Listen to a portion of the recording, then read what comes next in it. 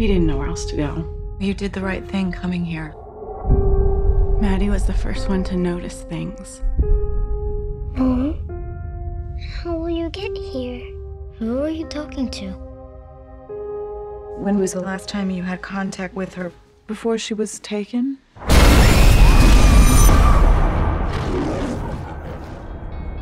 It's a fixer upper. All the houses are like this in our price range. Do you want to see Jake? No way. you try. we like this house!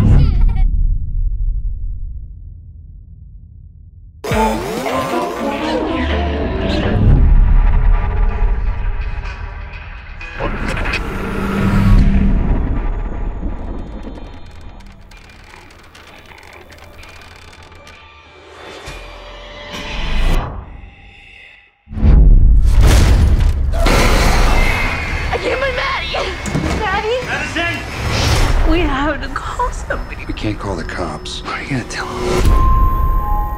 First things first. Your daughter is here and she's alive.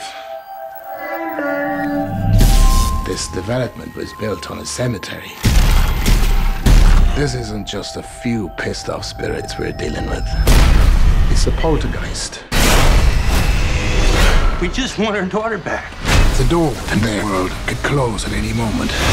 If that happens, There's no getting her back. I want you all to clear your minds. They already know what scares you.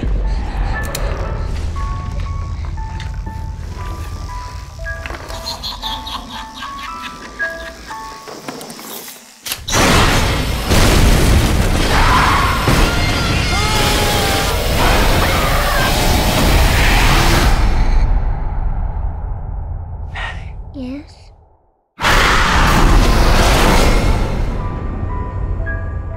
Something's wrong, Mom.